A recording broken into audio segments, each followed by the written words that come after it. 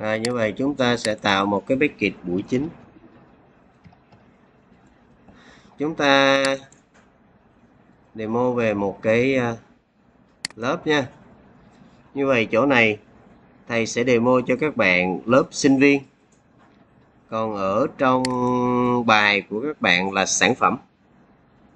Nhé thì nó cũng giống như vậy. Sinh viên thì nó cũng có cái khác nhưng mà nó cũng tương tự như vậy thì thầy demo là sinh viên. Em đang theo dõi ở đâu? Theo dõi trên theo dõi trên trên trên trên uh, trên mic hay là theo dõi trên bảng hay là đang làm gì? Lab của môn này hả? Để đó đi. Theo dõi cái bây giờ trước đi. Rồi như vậy thì chúng ta sẽ có một cái class mới là sinh viên. Sinh viên, thì chúng ta cần quản lý cái gì của sinh viên? À mã số sinh viên. Kiểu dữ liệu là gì? String, ok. Rồi, mã số sinh viên. Mình cần quản lý gì nữa? Họ tên. Họ và tên đi ha. Rồi, cần quản lý gì nữa? Nó chưa share hả? Hồi nãy thầy nhờ các bạn share mà cuối cùng các bạn không share là thầy chưa share ok. Rồi.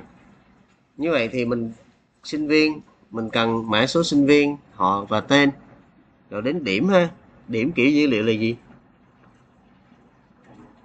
Double. Đắp d hoa hay d thường hả? D thường cũng được d hoa cũng được. Nhưng các bạn nến nến sải nào?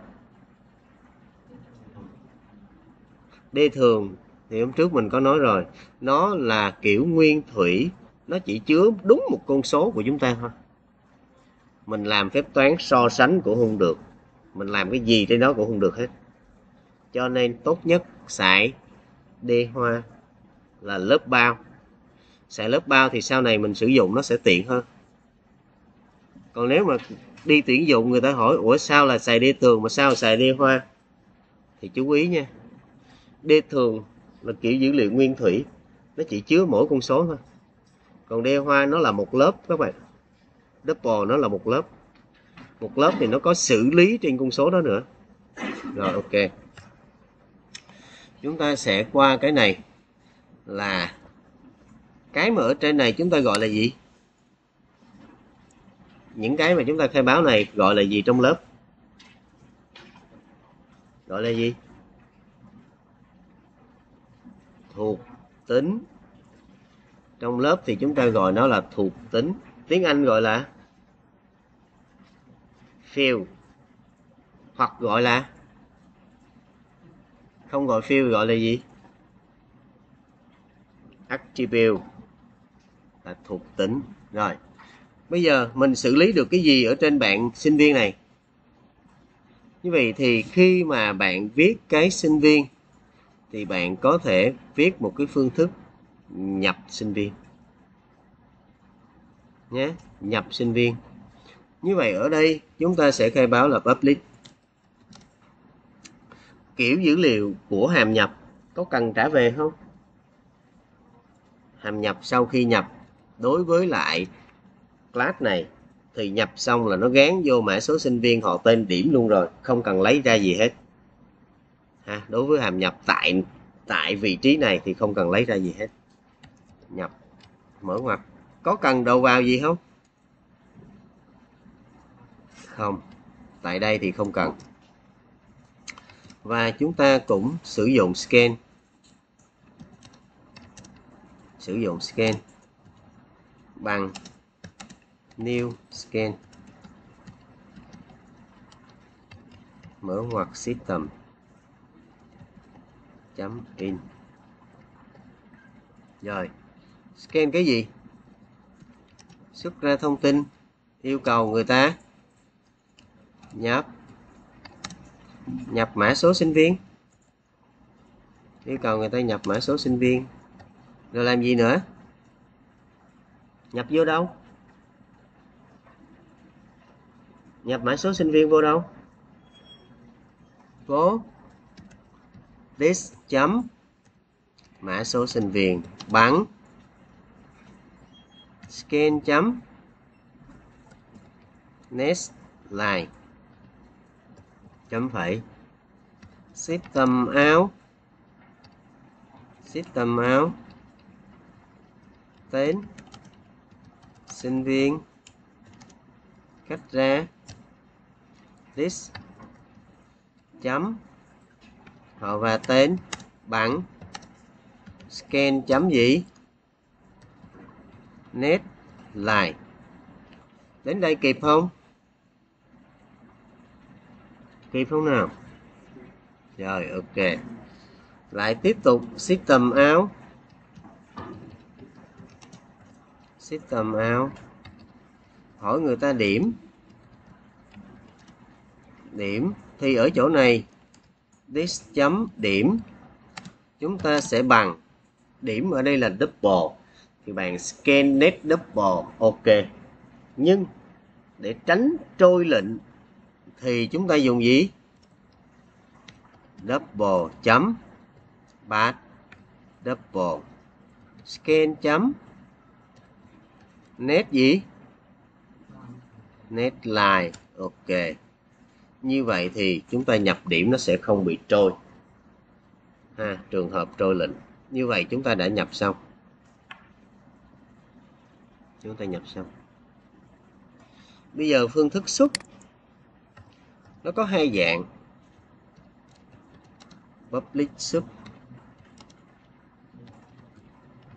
Một là bạn xuất trực tiếp ở đây. Hai là với mỗi cái class, thường bạn có một cái phương thức là to string là chuyển tất cả những dữ liệu bên trong thành một chuỗi. Rồi sau đó bên ngoài mình mới xuất sau như vậy mình làm cách đầu tiên trước là xuất trước. Như vậy chỗ này, xuất. Thì chúng ta sẽ xuất cái gì?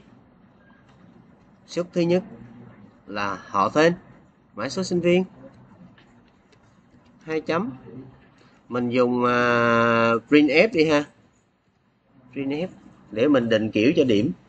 Chứ không điểm nó nhảy lung tung. Điểm kiểu double mà nó sẽ nhảy. Mã số sinh viên. Về chỗ này mã số sinh viên mình sẽ phần trăm gì ta? Phần trăm.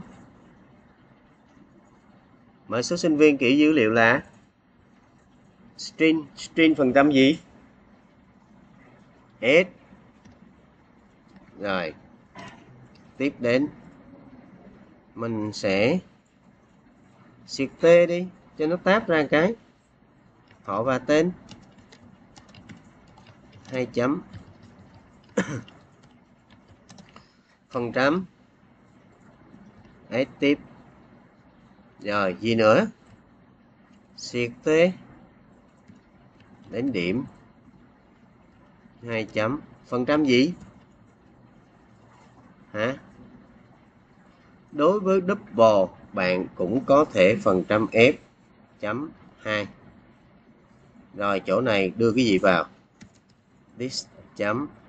Mã số sinh viên phẩy this chấm họ và tên phẩy this chấm điểm. Đấy, như vậy là chúng ta đã chúng ta đã viết xong cái đoạn mà nhập và xuất. Như vậy với một cái class cơ bản nó là như thế.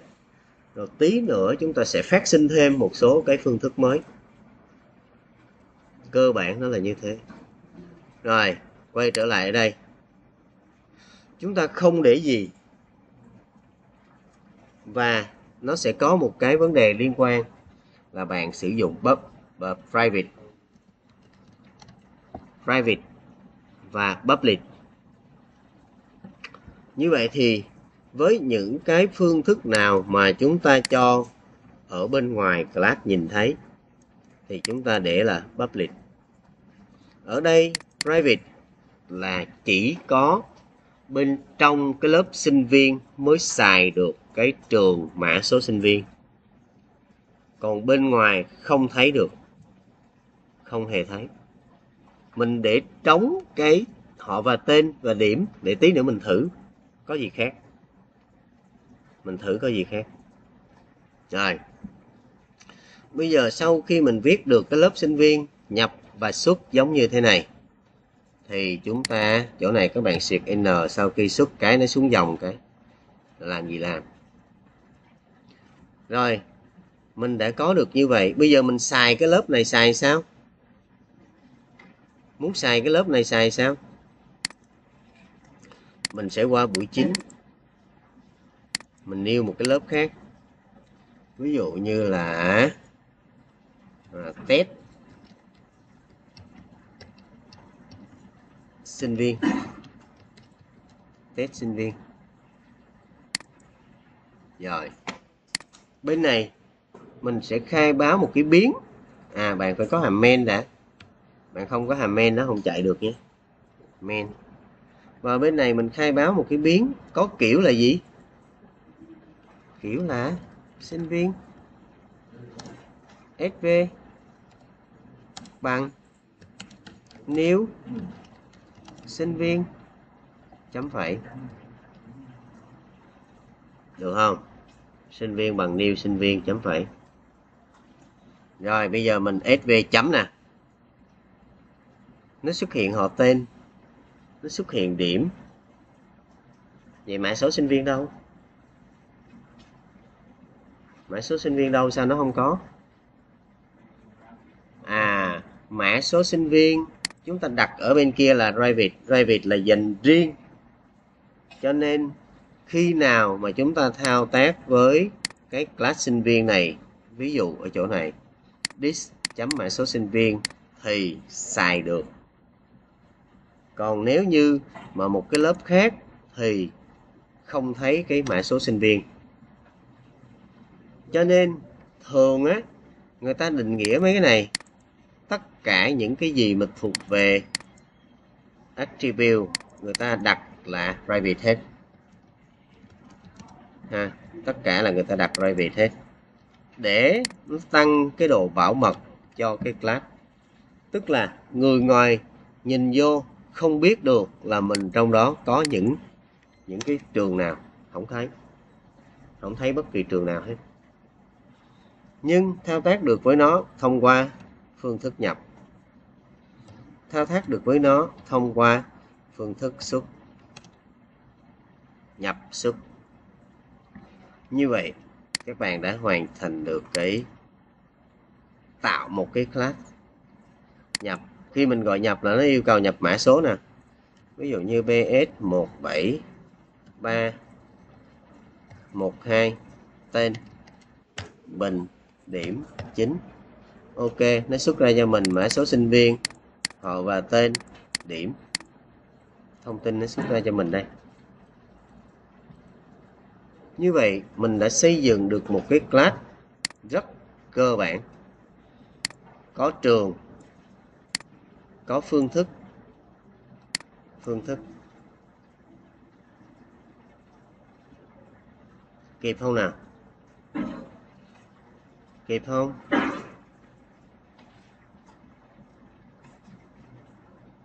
Kịp không? Rồi. Bây giờ ở bên này. Cái chỗ mà sinh viên này nè. Thầy không muốn nhập, không muốn xuất. Mà thầy biết là ở trong này nó có mã số sinh viên, tên sinh viên và điểm. Thầy muốn đưa cái mã số sinh viên vô đây. Bs 17301 phải tên Dũng, phải điểm 8.5 thầy muốn vậy đó. Không cần nhập mà thầy đưa trực tiếp luôn vô. Đôi khi chúng ta không cần phải nhập đâu. Bởi vì chúng ta có dữ liệu từ một cái nơi nào đó, rồi chúng ta ghét nó ra thì chúng ta đẩy vô bên này, chứ không nhất thiết phải nhập. Thì để làm được việc này, các bạn sẽ qua cái lớp sinh viên. Các bạn viết cho thầy một cái phương thức. Viết một cái phương thức.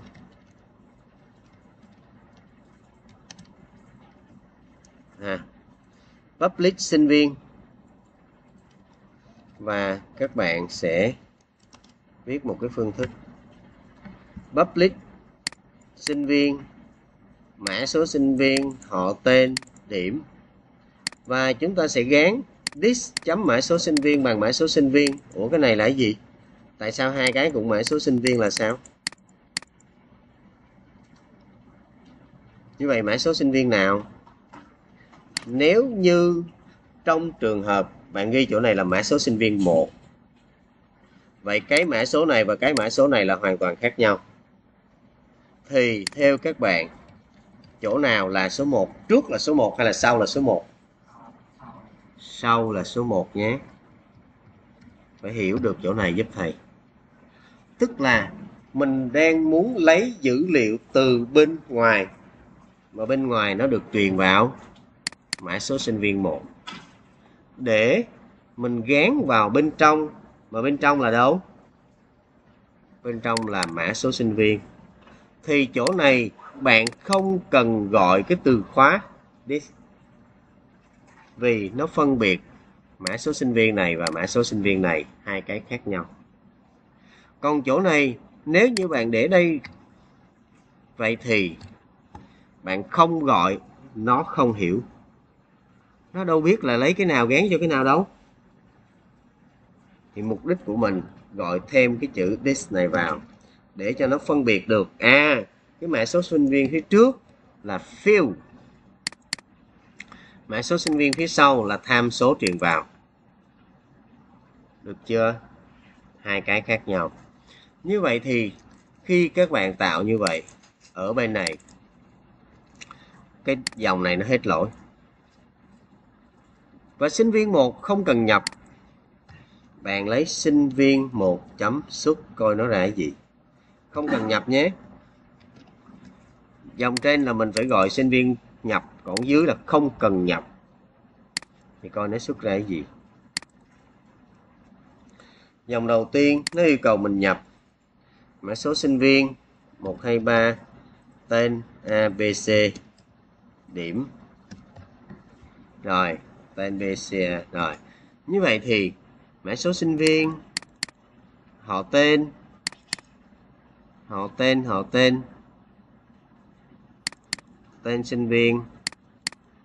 Ủa, nó xuất ra gì vậy? Xuất ra gì sai sai vậy? Ừ? xuất cái gì đấy? Sức à tự nhiên sức hết tốt là sức cái gì? Mã số sinh viên xuất tên chứ. Họ tên sinh viên với tự nhiên xuất hết cốt xuất họ và tên. Ok. Rồi, chạy lại.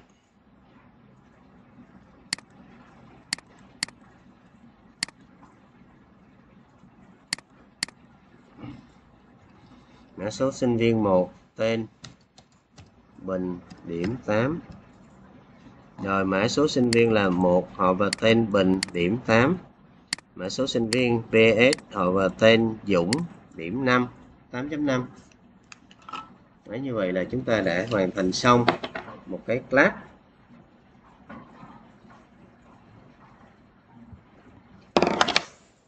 Rất là cơ bản. Dùng các hàm khởi tạo. Bên cạnh đấy, thì chúng ta có thể viết thêm một số hàm. Thêm một số hàm. Ví dụ, mình viết hàm set chỗ này cái họ và tên thầy ghi. Họ và tên. Chữ T nó nó không biết khoa, nó không hay lắm. Cũng được. Nhưng mà viết hoa luôn thì nó nó hay hơn. Rồi, như vậy chỗ này giả sử thầy xếp mã số sinh viên. Xét mã số sinh viên. Các bạn viết một cái phương thức xét mã số sinh viên. Xét là gì? Là lấy mã số sinh viên từ bên ngoài, gán vào cho mã số sinh viên này, gọi là set rồi, như vậy thì mình có họ tên, điểm, thì mình cũng làm tương tự. Được chưa? Mình cũng làm tương tự. Mình viết cái phương thức set cho họ tên và và điểm. Được chưa nào? Như vậy mình viết một cái phương thức set cho họ tên và điểm. Chỗ này bạn sẽ viết cho thầy là set cho họ và tên. Và điểm.